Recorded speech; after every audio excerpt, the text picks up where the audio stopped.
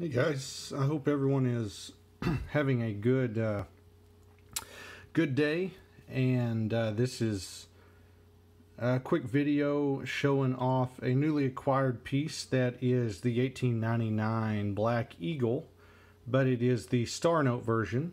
There's numbers on it. It's 235 with star.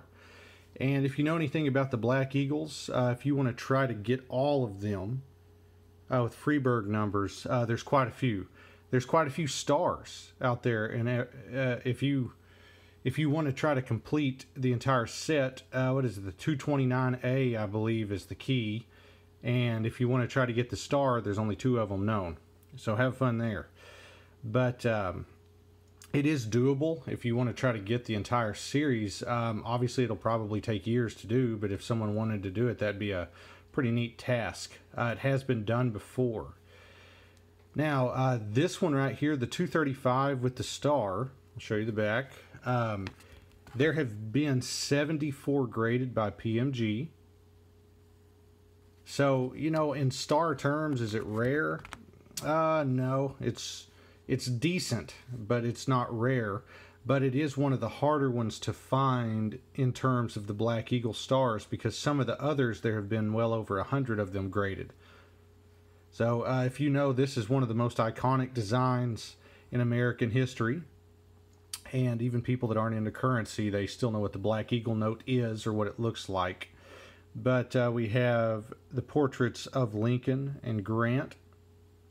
Okay, this is an Elliott White as well and you know that goes back to the Friedberg numbers and everything too. The signature combinations on these, there's there's so many of them. I can't, I couldn't even start to run through all of them.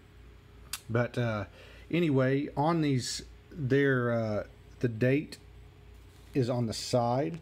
On some of these, there you see act of right there.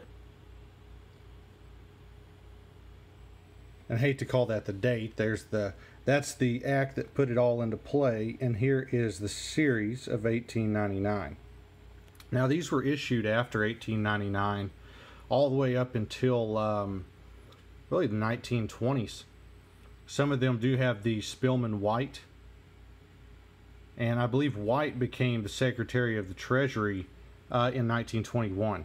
So, and these are still being issued then. So, Anyway, I hope you enjoyed the video. Uh, I have another Star Note video coming up after this one. So I hope you stay tuned, and I will see you guys next time. Thanks for watching.